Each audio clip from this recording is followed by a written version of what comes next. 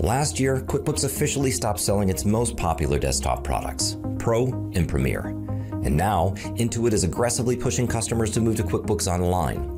It's been a pretty big and confusing change, and many small businesses are understandably upset. Hi, I'm Jeff Budiak with Software Connect. Today, I'm covering the key differences between QuickBooks Online and QuickBooks Desktop so you can make the best choice for your business. And be sure to stick around until the end of the video where I'll talk about one of my favorite alternatives.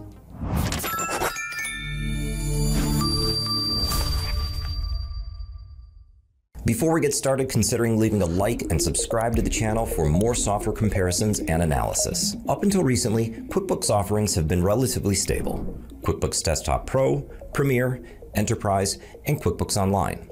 However, Intuit has a history of phasing out older products. Think Mint, Financial Works, and even QuickBooks Self-Employed.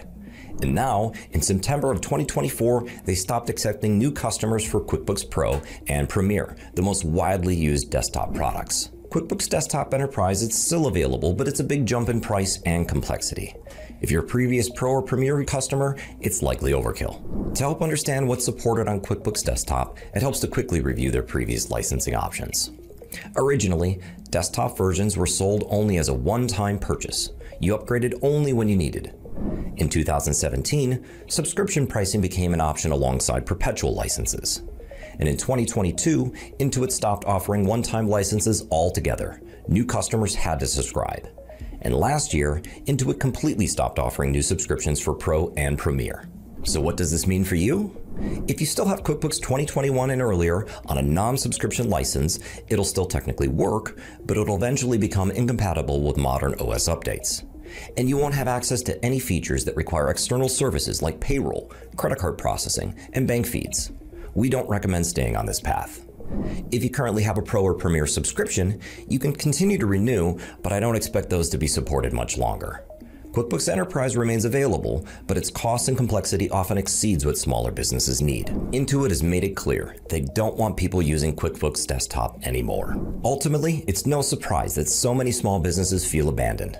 The software they rely on for their finances is disappearing, and Intuit isn't making it easy to stick around to basically making you pay more for less. If you're feeling frustrated, you're not alone. So really, if you're switching from Pro or Premier, you're only left with two realistic options. Switch to QuickBooks Online or find an alternative.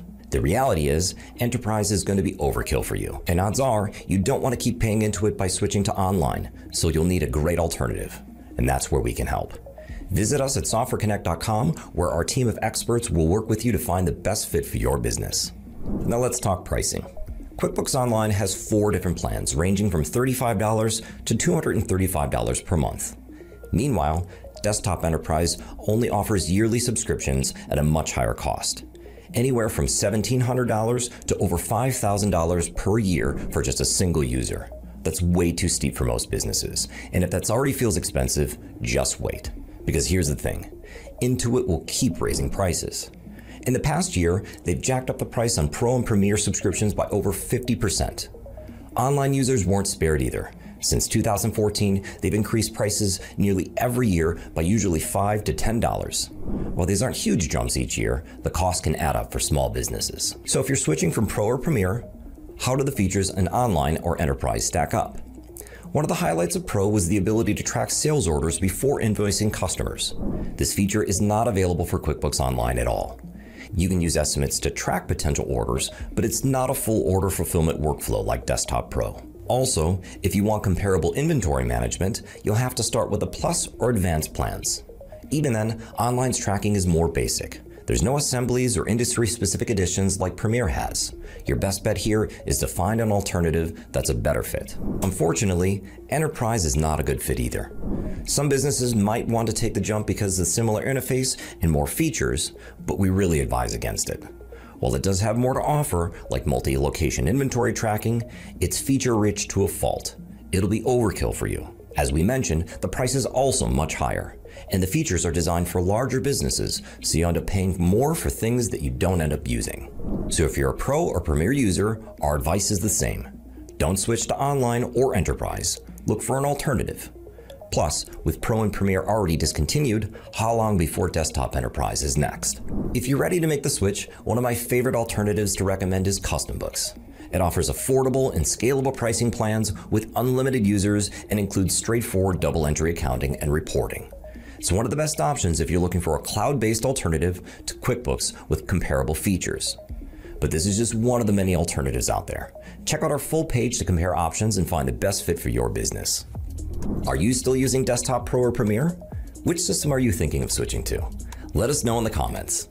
If you found this video helpful, give it a thumbs up and subscribe for more in-depth comparisons. If you're still unsure which system is right for you, click on the link in the description or visit softwareconnect.com for a free consultation. Thanks for watching. We'll see you next time.